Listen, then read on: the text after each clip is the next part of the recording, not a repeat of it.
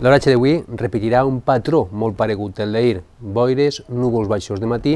més sol a migdia, temperatures en ascens i tronades de vesprada, que de nou arrencaran de punts de l'interior, tocaran les comarques centrals i acabaran també eixint per les zones més costaneres de la Comunitat Valenciana, en teoria ja prou més desfetes.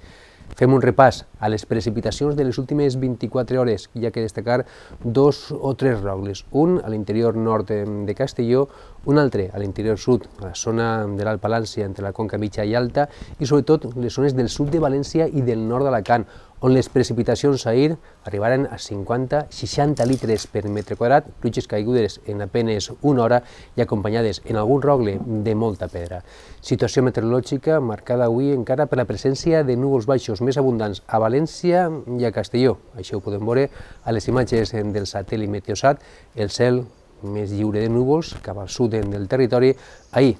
es veurà més el sol, serà on més pugen les temperatures i estem a l'espera d'aixòs núvols que a hores d'ara es troben al centre de la península que s'acosten cap a nosaltres i que són és que esta vesprada tornen a deixar ruixats i tornades sempre més probables a l'interior i al centre del territori. Pel que fa a la situació meteorològica d'avui, aquests núvols baixos, eixes boires que aniran desfent-se al llarg del matí, les temperatures mínimes s'han mantingut suaus, sense canvis, les temperatures màximes no patiran canvis o fins i tot tendran a pujar especialment en aquelles zones on més es veig el sol, al centre i al sud de la comunitat. I sobretot hem de mirar de reull a partir de primera hora de vesprada el creixement i l'evolució d'aquests nuclis de tempesta per veure cap a on tiren i si tenen tanta activitat com era ahir per arribar a portar pedra. Demà, situació meteorològica marcada també per aquesta diferenciació entre el matí i la vesprada. El matí amb sol, amb els intervals d'alguns núvols, i de vesprada sembla que les tronades ja restringides eh, a les zones de muntanya difícilment arribaran a la costa, podien tocar algun punt de litoral, però ja molt desfetes, molt trencades, i les temperatures,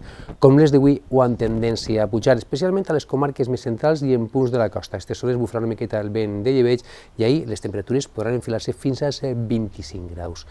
Lola no ha dit l'última paraula, aquesta borrasca que s'ha acompanyat des del cap de setmana passat, sembla que no ens deixarà fins dissabte.